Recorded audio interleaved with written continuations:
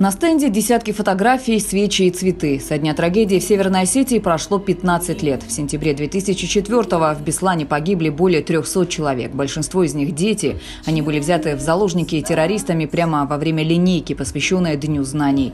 Это один из самых массовых и жестоких терактов в истории страны. Почтить память жертв трагедии сегодня собрались десятки сочинцев.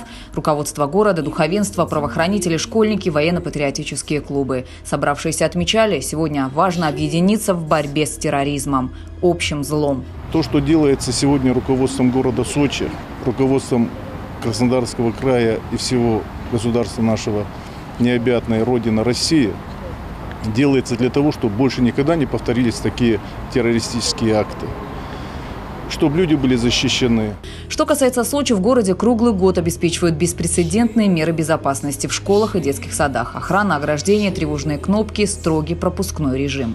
Я считаю, что все люди должны объединиться. Когда произошла трагедия в Беслане, мы приняли активное участие на санаторно-курортном комплексе, принимали детей Беслана. И эта традиция сохранялась долгие годы.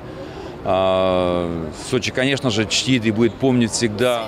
Памятный митинг провели в День солидарности в борьбе с терроризмом. Сегодня вспоминали и жертв других террористических актов. На Дубровке, в Буденовске, Первомайском. Тех, кто погиб при взрыве жилых домов и в метро. Почтили памяти погибших в ходе спецопераций.